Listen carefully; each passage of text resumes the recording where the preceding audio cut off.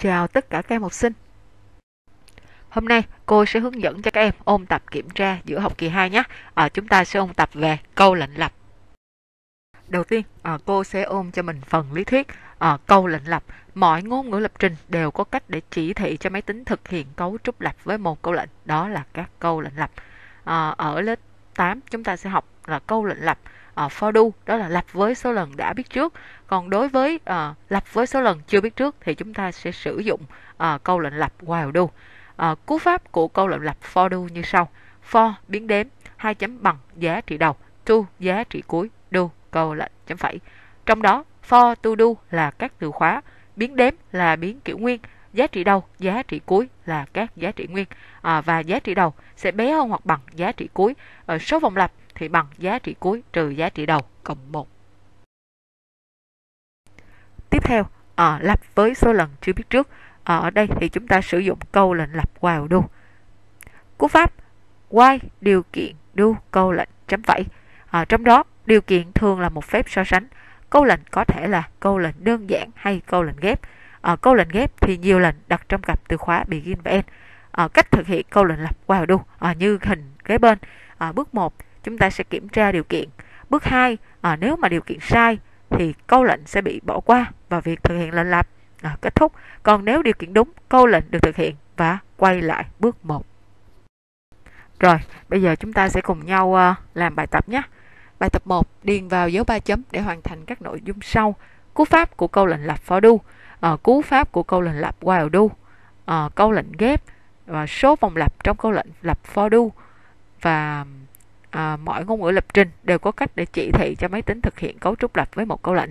À, thì đó là à, điền vào hình 1 để mình được hoạt động của câu lệnh lập wow đâu. Rồi chúng ta cùng suy nghĩ nha.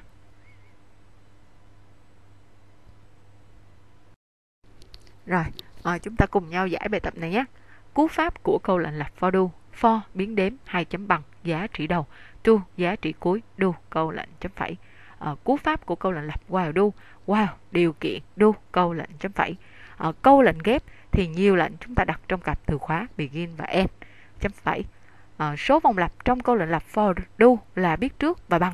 Uh, giá trị cuối trừ giá trị đầu cộng 1 mọi ngôn ngữ lập trình đều có cách để chỉ thị cho máy tính thực hiện cấu trúc lặp với một câu lệnh. Đó là các câu lệnh lặp. À, mình điền vào hình 1 để mình được hoạt động của câu lệnh lặp. While do nhé có 3 vị trí. Thì đầu tiên chúng ta sẽ điền là chữ điều kiện đó là cái hình thoi. Rồi tiếp tục chúng ta sẽ điền ở câu lệnh và cuối cùng là kết thúc lập. Chúng ta nhớ các từ này nhé. Rồi bài tập số 2 chọn mỗi nội dung ở cục A với nội dung thích hợp nhất ở cục B và mình điền vào cái cục A cộng B. Các em cùng theo dõi bài này nha.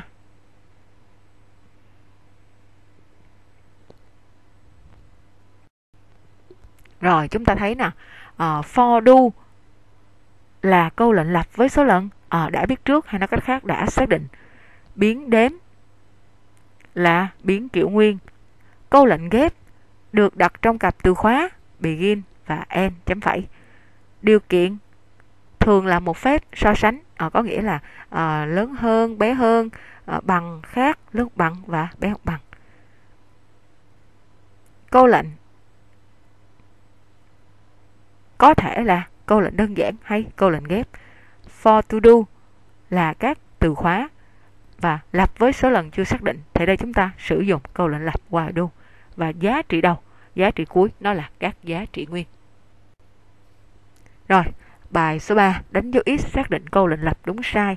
Thì đây mình có um, 10 cái câu lệnh lặp for do và while do. Thì như chúng ta đã biết for do là for biến đếm.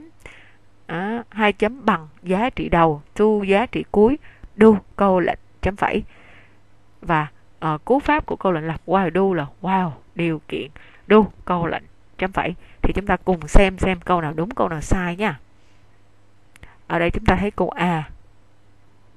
For biến đếm hai chấm bằng giá trị đầu to giá trị cuối do câu lệnh chấm phẩy. Nên câu A chính xác. Ở câu B. Thì chúng ta thấy giá trị đầu là 10.4 nó không phải là giá trị nguyên cho nên sai. Câu C, while while điều kiện thì điều kiện là một phép so sánh. Phép so sánh nó không có cái dấu hai chấm ở đây cho nên sai. câu D while m mod y khác không do y hai chấm bằng y cộng một chấm phẩy à, while điều kiện do câu lệnh chấm phẩy không có gì sai hết cả câu D đúng câu E for biến đếm hai chấm bằng giá trị đầu to giá trị cuối. Do câu lệnh chấm phẩy. Câu E không có gì sai hết. Câu E đúng. Câu F chúng ta thấy giá trị cuối là 10.5 nên câu F sai. Câu G tương tự như vậy. Chúng ta có uh, giá trị cuối là 6.8 cho nên câu G sai. Câu H chúng ta thấy ở while điều kiện do câu lệnh chấm phẩy. Thì uh, câu lệnh đó uh, uh, nếu mà nó là câu lệnh ghép thì nó phải có cặp dấu hai chấm bằng. Ở đây thiếu dấu hai chấm cho nên câu H sai.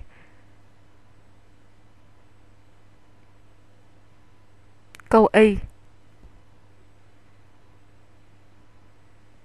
À, chúng ta thấy có à, sai thứ nhất là s hai chấm bằng s trừ một thiếu dấu hai chấm cái sai thứ hai là có từ hai câu lệnh trở lên, mình là câu lệnh ghép thì mình phải đặt trong cặp từ khóa begin end. Cho nên câu y sai câu J. Chúng ta có hai câu lệnh được thực hiện. Ở là c hai chấm bằng c trừ một và write a ra. Cho nên đặt trong cặp từ khóa begin và end chấm phẩy. Cho nên câu J đúng. Rồi. A đúng. B sai C sai. D đúng. E đúng. F sai. G sai. H sai. Y sai và J đúng. Rồi chúng ta qua câu thứ tư. À, điền vào dấu ba chấm để hoàn thành các bài toán sau. Cho biết điều kiện và câu lệnh của câu lệnh lặp sau. While s mod y khác 5 do y hai chấm bằng y cộng 1 thì phần này uh, khá là đơn giản ha. Điều kiện sẽ là ờ, uh, sau sau cái từ khóa while như vậy nó sẽ là s mod y khác 5 đó. Chúng ta ghi đúng như vậy nha chúng ta không ghi cái dấu khác mà giống như bên uh, một số môn khác chúng ta học nha. Ở đây là Pascal. Đó chúng ta sử dụng cái, cái dấu khác viết cho đúng. Rồi như vậy câu lệnh sẽ là y hai chấm bằng y cộng 1 rồi câu B. Tương tự như vậy thì điều kiện là t mod j bằng 0 và câu lệnh là đếm hai chấm bằng đếm cộng 1. Câu E Chúng thấy biến đếm chính là biến y, giá trị đầu là 2, giá trị cuối là 20. À, số vòng lặp chúng ta lấy 20 trừ 2 cộng 1 là được 19. Rồi, các bạn xem đáp án nha. Câu A.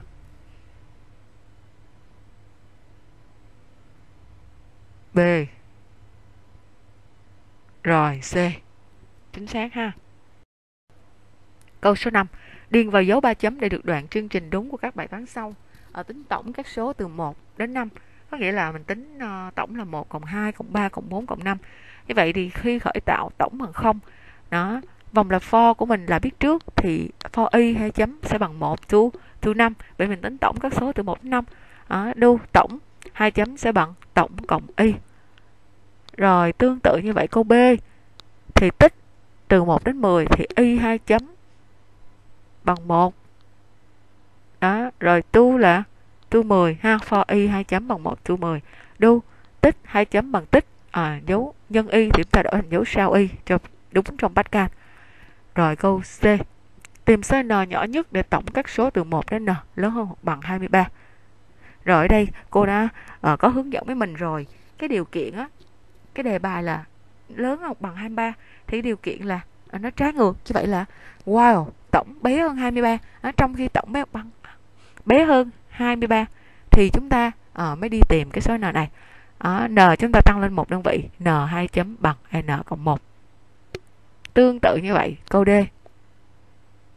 Tích à, lớn hoặc bằng 110 như vậy wow thì sẽ là tích bé hơn 110 n 2 chấm bằng n cộng 1 chấm phẩy ha.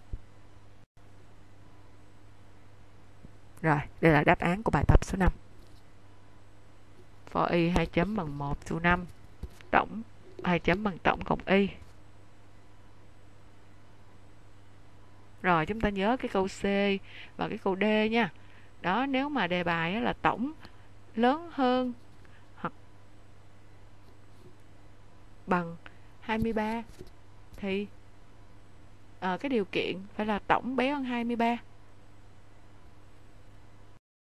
rồi chúng ta qua bài số 6 à, ờ, viết chương trình sử dụng lệnh lập while do để tính trung bình n số thực à, x1 x2 cho đến xn cái với các số thực n và x1 x2 x3 cho đến xn được nhập từ bàn phím. À, bài này chúng ta đã được thực hành rồi ha. Rồi chúng ta xem lại thôi. Rồi, à, như vậy ở đây là mình điền như thế nào? Nhập vào cn thì đây có phải là mình uh, read line là cn ha. While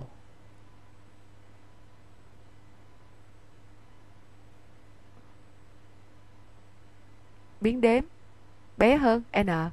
Thì à, biến đếm tăng lên một đơn vị. Và chúng ta nhập vào số thứ đếm là chúng ta nhập vào số thứ x. Và tb sẽ hai chấm bằng tb cộng x và trung bình của n số thực à, vì n là số thực nên chúng ta đưa ra tb à, chúng ta viết hoa hay viết thường đều được nhé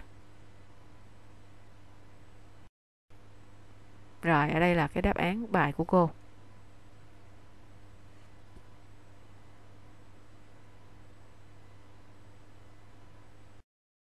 Rồi, bài số 7.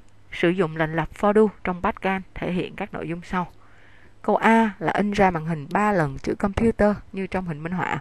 À, câu B là in ra màn hình 5 lần tên Hoa Thần Vũ như trong hình minh họa. À, câu C in ra màn hình 4 lần à, ngày 26 tháng 2 năm 2022 như trong hình minh họa. Câu D in ra màn hình 3 lần số 15 như trong hình minh họa.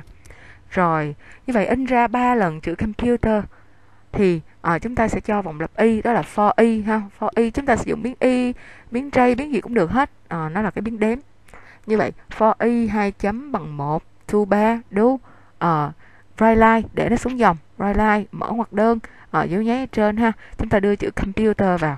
Rồi chúng ta đóng cái dấu nháy đơn. Đó rồi đóng ngoặc đơn. Rồi chấm phẩy. Như vậy tương tự như vậy câu B à, câu C cũng làm như vậy. Ở câu C in ra màn hình 3 lần số 15 à, thì nếu như mà đề bài á à, nó cần cho chúng ta in ra cái số 15 à, thì chúng ta có nhiều cái cách để chúng ta in. À, à, số 15 chúng ta in trực tiếp số 15 cũng được. Hoặc là chúng ta in à, số 15 mà chúng ta để ở trong cái um, dấu nháy đơn cũng được. Thì số 15 đầu tiên á nó là in ra như vậy nó là dạng số. Và cái số 15 thứ hai á à, nếu chúng ta để trong dấu nháy đơn á thì nó cũng in ra cho chúng ta thấy được số 15 nhưng ở khi đó nó là ở dạng ký tự. Nó chỉ đơn giản là như vậy thôi. Rồi.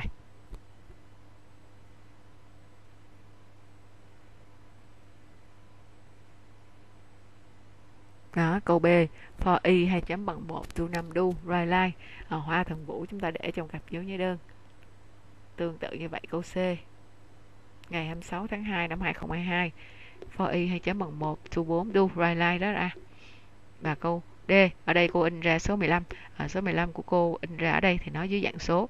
À, các bạn có thể in ra dưới dạng chữ thì các bạn đặt trong câu cặp dấu nháy đơn. Nó cũng tương tự như vậy rồi các em xem video nhiều lần để hiểu bài nhé. À, mình làm các bài tập từ bài 1 đến bài 7 trong video. Rồi chúc các em làm bài thật tốt nhé. Chào tất cả các em.